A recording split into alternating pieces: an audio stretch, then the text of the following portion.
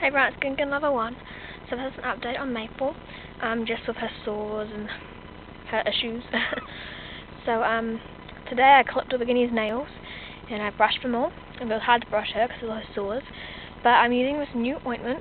It's called Lucas Papaw, Papaw Ointment. Um, it's for boils, burns, chafing, cuts, cracked skin, gravel rash, splinters, open wounds, insect bites, and nappy rash. So that's really good.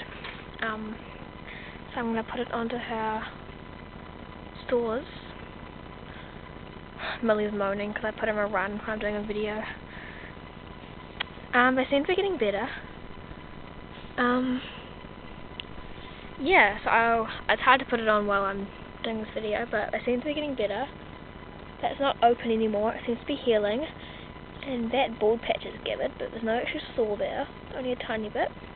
It's because of her scratching in the same place. She hasn't got anything like mites, but she's just scratching in the same place. She hasn't got much fur around here, but that's alright. Um, I'll just quickly show you all the guinea pigs. Um, hold Maple with me, otherwise she might jump off the table. And her lumps are doing okay. It's hard holding her with one hand. Um, so, I have put the run off my hatch onto the grass, only for my, for my guinea pigs to get grass. I know it's tiny, but it's only, it was only for, I think it's been three hours, just so they can eat grass. It's not a big run. And then, it's kind of funny, three guinea pigs in that, and then two guinea pigs in this. Um, but Mocha and Sonic are in their run. They go in here, since they're in such a small hutch, they go in here pretty much every day or every good day.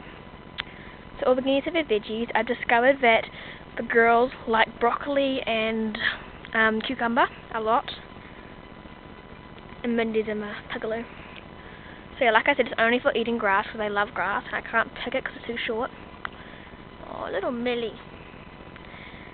Yeah. Oh, and in Mocha and Sonic's hutch, um, they got wood shavings because um, my pets all ran out of hay, so they can't sleep in hay. So they're sleeping in wood shavings with some hay to eat.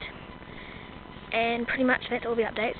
Oh, and also I'm getting my new hutch soon, in probably about a week, so that's really exciting. And when I get my new hutch, I'll tell you the surprise coming. So yeah. Like a big patch of like square of wood shavings. So that's pretty much everything. Oops, Maple's struggling. So now I'm going to put the Lucas papaw, papaw ointment on it. Oopsie, Maple! She's struggling now because she saw everyone else eating veggies. You already had heaps of veggies. Okay, I better go now. Before she accidentally jumps off the table. thanks for watching, and thanks to everyone who was concerned about Maple. Okay, bye.